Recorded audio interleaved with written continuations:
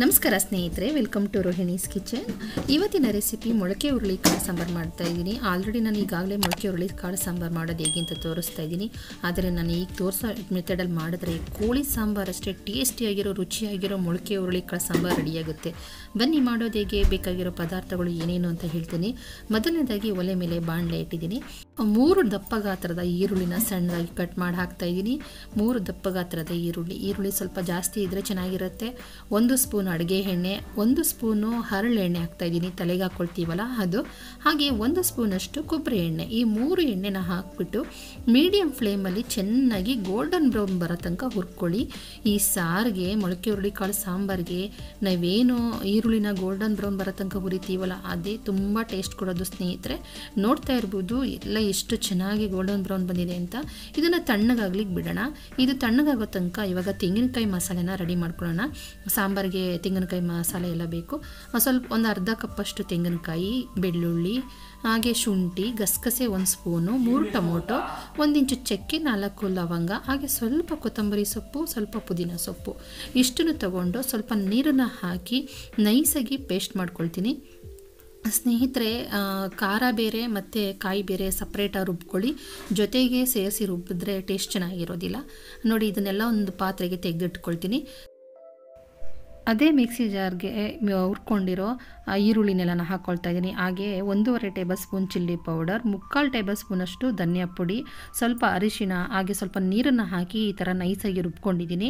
ಈಗ ಒಲೆ ಮೇಲೆ ಪಾತ್ರೆ ಇಟ್ಟು ಒಂದು ಟೇಬಲ್ ಸ್ಪೂನಷ್ಟು ಎಣ್ಣೆ ಹಾಕ್ತಾ ಇದ್ದೀನಿ ಸ್ನೇಹಿತರೆ. ಈ ಎಣ್ಣೆ ಎಲ್ಲ ಕಾದ ಮೇಲೆ ಒಂದು ಸಣ್ಣ ಈರುಳ್ಳಿನ ಕಟ್ ಮಾಡಿಟ್ಕೊಂಡಿದ್ದೆ. ಅದನ್ನು ಹಾಕಿಬಿಟ್ಟು ಸ್ವಲ್ಪ ಕಲರ್ ಬರೋ ತನಕ ಹುರ್ಕೋಬೇಕು. ಹುರ್ಕೊಂಡೆಲ್ಲ ಆದಮೇಲೆ ಇವಾಗ ಕಾಲು ಕೆ ಜಿಯಷ್ಟು ಹುರುಳಿಕಾಳನ್ನು ಮೊಳಕೆ ಬರೆಸಿ ಇಟ್ಕೊಂಡಿದ್ದೀನಿ. ಅದನ್ನು ಸೇರಿಸ್ತಾ ಇದ್ದೀನಿ. ಹುರುಳಿಕಾಳಲ್ಲಿ ಹಸಿ ವಾಸನೆ ಇರುತ್ತಲ್ವ? ಹಸಿ ವಾಸನೆ ಇರೋ ಹೋಗೋ ತನಕ ಹುರ್ಕೋಬೇಕು. ಮಿನಿಮಮ್ ಮೂರು ನಿಮಿಷ ಚೆನ್ನಾಗಿ ಹುರ್ಕೊಳ್ಳಿ. ಹುರ್ಕೊಂಡ್ರೆ ಐ ಫ್ಲೇಮಲ್ಲಿ ಇಟ್ಟು ಹುರ್ಕೊಂಡಾಗ ಅದರಲ್ಲಿರೋ ಹಸಿ ವಾಸನೆ, ನೀರಲ್ಲೆಲ್ಲ ನೆನೆಸಿರೋದ್ರಿಂದ ಹಸಿ ವಾಸನೆ ಬರುತ್ತೆ. ಆ ವಾಸನೆ ಎಲ್ಲ ಹೋಗುತ್ತೆ. ಇವಾಗ ಮೊದಲನೇದಾಗಿ ನಾನು ಖಾರನ ಹಾಕ್ತಾ ಇದ್ದೀನಿ. ನಾನು ರುಬ್ಕೊಂಡಿರೋ ಖಾರನ ಹಾಕಿಬಿಟ್ಟು ಚೆನ್ನಾಗಿ ಒಗ್ಗರಣೆನಲ್ಲಿ ಹಾಗೆ ಬಾಡಿಸ್ಕೊಳ್ತೀನಿ. ಬಾಡಿಸ್ಕೊಂಡಾದ್ಮೇಲೆ ಕಾಳು ಬೇಯೋದಕ್ಕೆ ಎಷ್ಟು ನೀರು ಬೇಕೋ ಅಷ್ಟು ನೀರನ್ನು ಸೇರಿಸ್ತಾ ಇದ್ದೀನಿ ಇಲ್ಲಿ. ಮಿಕ್ಸಿ ತೊಳೆದಿರೋ ನೀರನ್ನು ಸಹ ಹಾಕ್ತಾ ಇದ್ದೀನಿ ಮೀ ಚೆನ್ನಾಗಿ ನೀರನ್ನು ಹಾಕಿಬಿಟ್ಟು ಒಂದು ಎರಡು ನಿಮಿಷ ಚೆನ್ನಾಗಿ ಕುದಿಯೋದಕ್ಕೆ ಬಿಡೋಣ. ಕಾಳೆಲ್ಲ ಚೆನ್ನಾಗಿ ನೀರು ಹಾಕಿದ್ಮೇಲೆ ಕುದಿಬೇಕು ಅದು. ಕುದಿಯೋದಕ್ಕೆ ಬಿಡೋಣ. ಚೆನ್ನಾಗಿ ಕುದ್ದ ಬಂದಾದಮೇಲೆ ಇದಕ್ಕೆ ನಾನು ಮೂರು ಬದನೆಕಾಯಿ ಕಟ್ ಮಾಡಿ ಇಟ್ಕೊಂಡಿದ್ದೀನಿ ಹಾಗೆ ಒಂದು ಮೀಡಿಯಮ್ ಸೈಜ್ದು ಆಲೂಗೆಡ್ಡೆ ಕಟ್ ಮಾಡಿ ಇಟ್ಕೊಂಡಿರೋದನ್ನು ಸೇರಿಸ್ತಾ ಇದ್ದೀನಿ ಇದನ್ನು ಸೇರಿಸಾದ್ಮೇಲೆ ರುಚಿಗೆ ತಕ್ಕಷ್ಟು ಉಪ್ಪನ್ನು ಸೇರಿಸ್ಬಿಟ್ಟು ಚೆನ್ನಾಗಿ ಒಂದು ಮಿಕ್ಸ್ ಮಾಡಿ ಮೊಳಕೆ ಹುರುಳಿ ಕಾಳು ಏನು ಹಾಫ್ ಆನ್ ಅವರ್ ಏನು ಟೈಮ್ ಹಿಡಿಯೋದಿಲ್ಲ. ಮಿನಿಮಮ್ ಒಂದು ಕಾಲು ಗಂಟೆ ಒಳಗಡೆ ಚೆನ್ನಾಗಿ ಬೆಂದೋಗ್ಬಿಡುತ್ತೆ. ಅಲ್ಲ ಒಂದು ಕಾಲು ಗಂಟೆ ಚೆನ್ನಾಗಿ ಬೇಯಿಸ್ಕೊಳ್ಳಿ ಇದನ್ನು ಮುಚ್ಚಳ ಮುಚ್ಚಿ. ನೋಡ್ತಾ ಇರ್ಬೋದು ಇವಾಗ, ಎಲ್ಲ ಚೆನ್ನಾಗಿ ಬೆಂದಿದೆ. ನೋಡ್ತಾ ಇದ್ದೀರಲ್ಲ ಚೆನ್ನಾಗಿ ಬೆಂದಿದೆ. ಇವಾಗ ನಾನು ಖಾರ ಕಾಯಿ ಕಾಯೆಲ್ಲ ರುಬ್ಕೊಂಡಿದ್ದೆಲ್ಲ ಮಸಾಲ, ಕಾಯಿ ಎಲ್ಲನೂ. ಅದನ್ನು ಹಾಕಿಬಿಟ್ಟು ಚೆನ್ನಾಗಿ ಮಿಕ್ಸ್ ಮಾಡ್ಕೊಳ್ತೀನಿ.